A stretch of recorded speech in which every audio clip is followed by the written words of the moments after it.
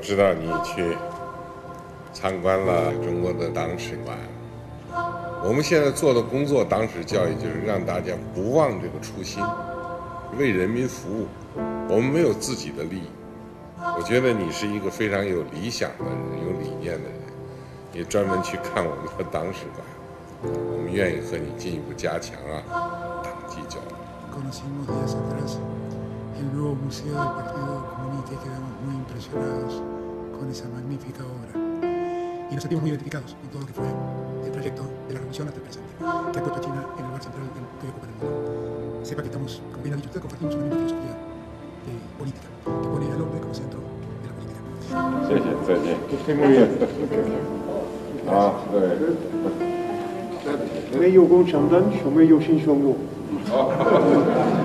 说得好，说得好，谢谢你支持，啊，谢谢。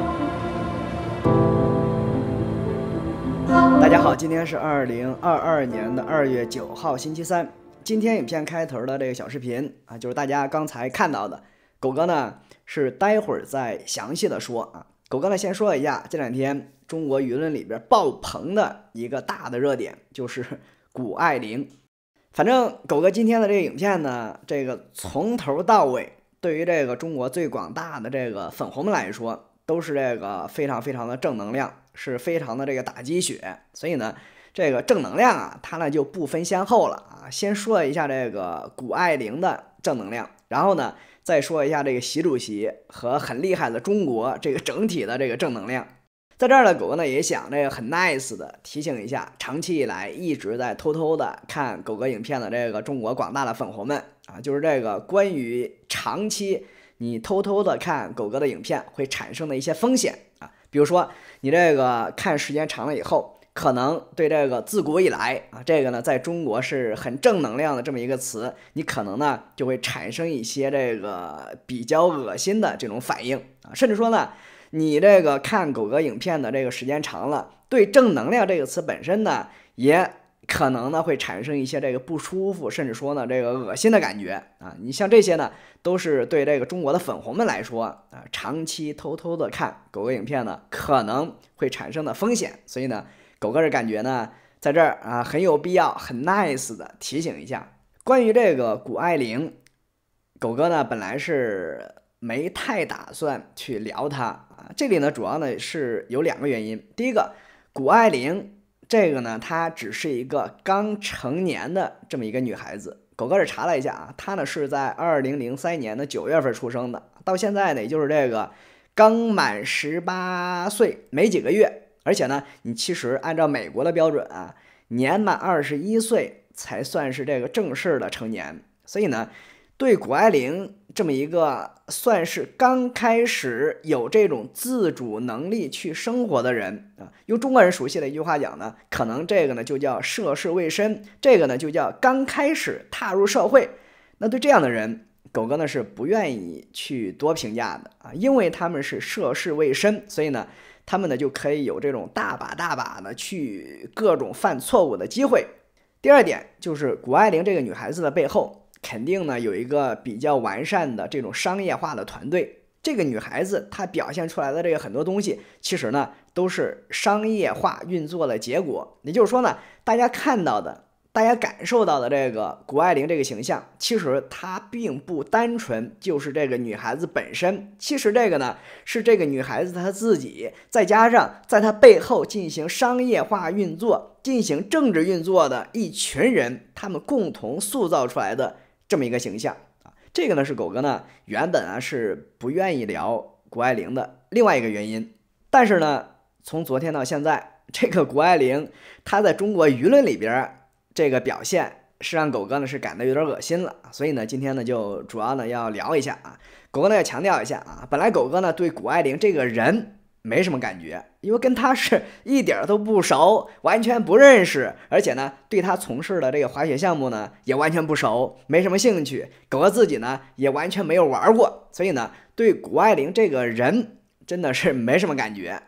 他昨天在北京冬奥会那个项目上拿到冠军，拿到金牌，据说呢是在这个比赛里边是表现的这个非常棒啊。你如果说非要狗哥对这个表态的话，那狗哥呢？也会为他感到是非常高兴，会认为他呢是很棒啊，因为那个比赛本身应该呢还算是这个公平竞争啊。那在一场这种公平竞争的世界顶级体育赛事里边拿到冠军，那这个呢肯定呢他呢是会很棒啊。这个冠军的背后呢，也肯定意味着谷爱凌她自己很辛苦的这种付出还有努力，这个呢是肯定的。所以呢，狗哥认为呢他呢会很棒。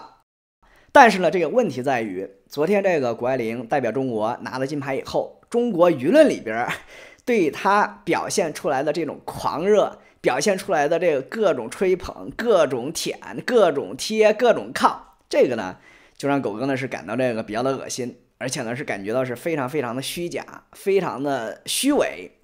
这方面就让狗哥呢感觉呢就是想聊一下啊。所以呢，其实狗哥今天主要聊的不是针对谷爱凌这个人，狗哥呢主要是针对中国舆论啊，针对从昨天到现在这个在中国表现出来的。对谷爱凌的这种情绪，大家来看这个谷爱凌她的热度。这个图片显示的是这这个最近七天谷爱凌这个中文名字在 Google 搜索里边的这个热度的变化。蓝色的是谷爱凌这个名字啊，红色的是中国最高领导人习近平这个名字啊。大家呢可以看得很清楚啊。昨天谷爱凌拿了金牌以后，他的这个热度呢一下子就把这个习主席呢 是打到这个山谷底下了。啊，这个蓝色的这个谷爱凌呢，可以说呢是上了天堂；红色的这个习近平主席呢，他是在这个下边的山沟沟里边。这个呢就是反映出谷爱凌她这两天这个热度。这个呢还只是在中国墙外边这个 Google 搜索里边它反映出来的热度，它反映的可能主要呢是这海外的中国人对谷爱凌的这种狂热。那这个在中国墙里边这个对谷爱凌的狂热。它会达到什么样的程度？这个呢就更不用说了，对不对啊？墙里边呢，现在呢只会是这个更狂热，成千上万倍啊！这个呢就是谷爱凌这个女孩子，她现在在中国人里边的这个热度啊，真的是这种特别特别的火爆。其实关于这个谷爱凌可以聊的这个话题呢有很多，狗哥呢就随便的聊几个点。第一个就是谷爱凌她为什么会在中国那么火？这次这个北京冬奥会，中国有那么多的这个运动员。为什么偏偏这个谷爱凌她最火？狗哥认为呢，谷爱凌她这次能够火起来，主要呢是四个原因。首先，这个谷爱凌呢，她呢是满足了这个中国人整体上在内心深处的这种崇洋媚外的这种心理。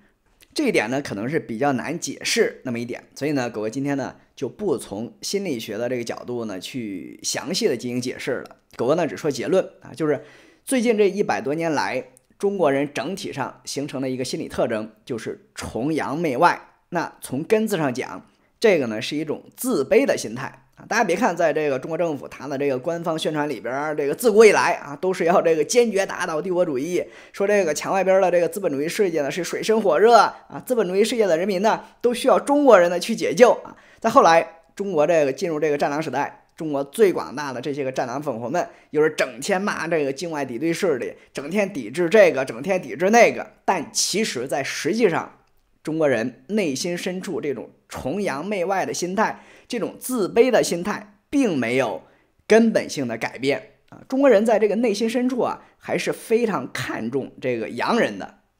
谷爱凌，她至少呢，也算是这个半个洋人。她显得是这个非常的洋气，所以呢，她跟那些纯土鳖的这个中国本土运动员比起来，谷爱凌呢，她呢就会受到中国人的更多喜欢还有欢迎啊。狗认为呢，这个呢是最主要的原因，也是这个最深层次的原因。第二个原因就是谷爱凌她的这个形象还有成功，她呢是非常完美的契合了中国中产阶层的希望还有愿望啊。谷爱凌。她有这个中国血统，但是呢，她是出生在美国，她是在美国成长，她家里呢有钱啊，完全不缺钱，而且呢，据说这个姑娘呢还是学霸，在北京上这个奥数的培训班，然后呢被美国名校这个斯坦福大学录取。他这个外表上呢也长得这个很漂亮，很阳光，还拿了这个奥运冠军金牌。狗哥必须要说，所有这一切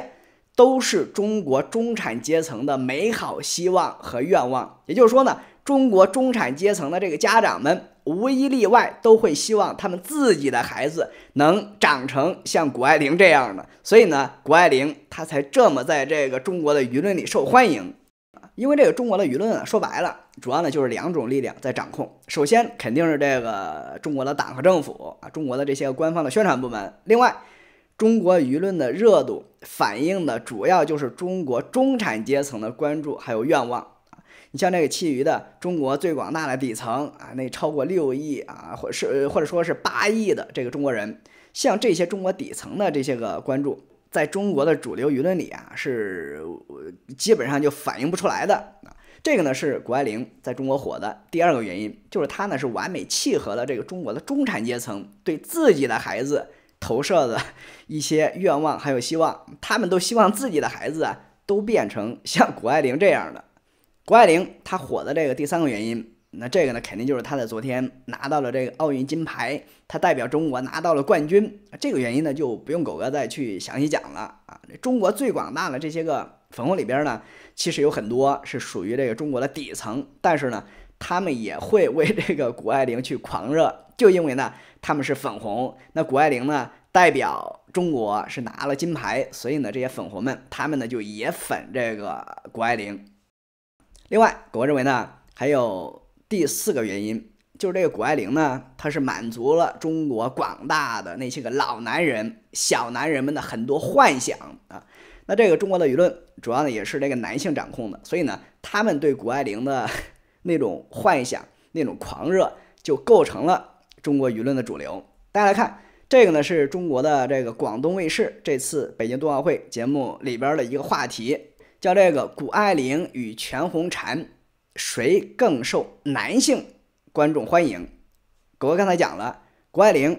是一个刚满十八岁的女孩子啊。她这个话题里边提到的这个全红婵是中国的一个奥运跳水项目的冠军，据说在今年呢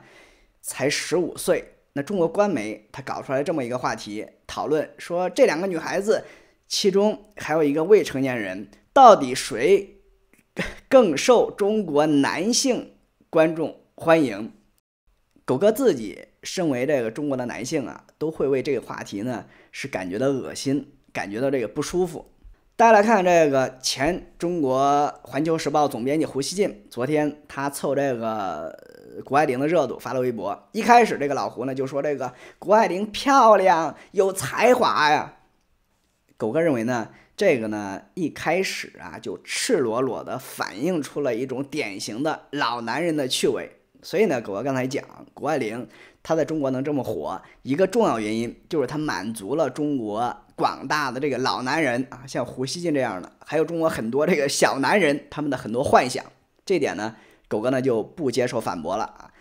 这个呢是狗哥对这个谷爱凌为什么她在中国能这么火的几个原因的这个解读啊。另外一个，狗哥想聊的就是谷爱凌她的国籍的问题。现在有一个情况呢是非常肯定的。就是谷爱凌，她肯定是双重国籍啊！她这次代表中国参加北京冬奥会，那她呢就应该会有中华人民共和国的国籍。但是在同时，这个谷爱凌她的美国国籍呢，肯定呢也没有放弃。这一点呢，狗哥呢也不接受反驳。所以现在呢就有一个问题，就是按照中华人民共和国这个法律，中国政府呢？它是严格禁止双重国籍行为的啊！普通的这个海外的中国人，像狗哥这样的，如果说是拿了这个美国国籍，或者说是这个其他国家的国籍，一旦这个被中国政府发现，那马上就会被取消掉这个中国国籍，被取消中国户口。但是中国的这个法律现在为什么对谷爱凌不适用？中国政府，他为了一块奥运金牌，是不是就可以公然违反他自己制定的法律？那这个是不是符合中国政府一直宣传、一直鼓吹的这个依法治国精神？当然了，对于这一点，狗哥今天也不这个瞎掰扯了啊，因为你跟这个中国政府，你跟这个中国最广大战狼粉红们讲依法治国，这个呢，其实呢也是对牛弹琴啊。狗哥今天呢。想这个重点的讲一点啊，就是谷爱凌，她现在在中国很火，她现在通过在中国的商业代言会赚到很多很多的钱。狗哥是这个非常保守的掐指一算，这个谷爱凌她短时间里边也至少会在中国赚到超过一亿毛币啊，这个呢是至少。所以呢，再往后这个呢就有戏了啊，因为这个谷爱凌呢，她呢还有美国的国籍，他呢是这个美国的公民，所以呢，谷爱凌她在中国赚到的这些毛币，也都是要给这个美国政府去缴税的。狗哥呢再掐指算了一下，谷爱凌她在中国赚到的这些钱，可能要把其中百分之三十七都要作为税金去交给美国政府。狗哥呢再重复一下，就是谷爱凌在中国赚的这些钱。可能其中百分之三十七都要交给美国政府。当然了，这个除非谷爱凌她背后的这个商业团队，他们有什么样的操作能够大量避税，那这个呢就另说了啊。但是呢，不管怎么着，即便是这个谷爱凌她不会老老实实的去足额交百分之三十七的税，那谷爱凌呢，她肯定也要向美国政府呢交对于中国最广大粉红们来说是天量的这种税金。这些钱是中国这些最广大粉红们这个加班加点干活猝死好几百次也都赚不到的，所以呢，现在呢就出现了一个问题啊，就是中国战狼粉红们最近这几年呢，他们有一句名言，就是如果你在中国吃肯德基，这个呢就相当于是给美国送子弹。那这个谷爱凌，她现在要把在中国赚的这么多钱都作为税金交给美国政府，那按照中国粉红们的这个标准。这个呢，就不是送子弹的这个问题了，这个呢，就是相当于给美国政府是送原子弹、送核弹、送航空母舰，对不对？所以呢，这个呢，就是狗哥经常讲的这个中国战狼粉红们他们极端分裂的一个表现啊，就是一方面他们现在是狂爱这个谷爱凌，是非常狂热的在往这个谷爱凌身上去贴，但是呢，在另一方面，这个呢，其实他们这个呢是在支持谷爱凌给他们。最痛恨的美国呢，是送原子弹，是送这个航空母舰，所以呢，这个呢，其实呢，就是一种非常非常的分裂。那关于谷爱凌，狗哥呢，今天就讲这么多啊。最后呢，这个再送狂热吹捧谷爱凌的中国中产阶层们一句话，这个呢，也是来自一个推特的网友啊，他说呢，人家谷爱凌有一张白人的脸。她能够在北京黄庄补课，然后呢去美国考大学，最后呢他再回来，呃，在中国捞钱啊，在捞钱的同时呢，人家呢还可以主要在美国生活，所以呢，中国的中产阶层们怎么可能卷得赢？但是呢，这个不管怎么说啊，谷爱凌她这次在中国赢了，这个呢，也就是让这个全中国人感觉都赢了啊。这次的这个北京冬奥会也会让这个中国人呢继续感到很骄傲、很自豪，然后呢，他们就会这个继续狂热的支持最高领袖习主席在今年连任啊，正式开始这个终身制。所以呢，可以说呢，真的是这个很赢啊，非常非常的赢。就像今天影片开头的这个小视频，是前两天这个习主席呢，他会见来出席北京冬奥会的阿根廷总统时候的这个状况。那这个是不是也是反映了？中国真的是很赢啊！这个中国办这个冬奥会，其中主要要的是不是就是这么一种效果啊？就是 你像一些老外、一些洋人，现在都能讲这个没有共产党就没有新中国了。所以呢，这个中国呢真的是很赢啊！然后呢，这个习主席呢一高兴，据说呢就批了这个两百三十亿美元的融资给了这个阿根廷。那这次围绕这个北京冬奥会啊，不光是这个阿根廷，像这个习主席的非常知心的好朋友俄罗斯总统普京，他呢也是非常给面子，亲自出席北京冬奥会的开幕式。结果呢，习主席呢，他呢就批准了十几项跟俄罗斯的这个合作协议啊，这里边呢肯定是这个中国出钱啊，至少呢应该中国也要出这个上千亿的美金。所以呢，这个事儿呢，中国也是很赢啊。普京他这次去北京，我认为呢。呃，有一个比较遗憾的点，就是在冬奥会开幕式第二天，习主席搞的那个非常牛叉的国宴，普京呢，他呢是没有出席啊。普京呢是在前一天签完协议，拿到钱，晚上他去看了那个开幕式，然后马上这个普京呢他就回家了，就回俄国了啊。他没有出席第二天的那个国宴。狗哥认为呢，普京他如果说啊再给点面子，出席一下那个国宴，那可能。他拿到的这个钱呢会更多啊，另外呢，这个还有普京手下那几个小兄弟啊，就是中亚的那几个斯坦啊，在这个北京冬奥会开幕之前，中国呢应该是给每个斯坦都提供了一亿美元的这个无偿援助。然后呢，那几个斯坦的这个总统呢都非常齐刷刷的都到北京出席这个北京冬奥会的开幕式。所以呢，呃，整体上讲啊，中国这次搞得真的是很赢啊，真的是都赢麻了。不说了，今天就聊这么多啊，非常非常感谢大家的观看，咱们下期再见啊，拜拜。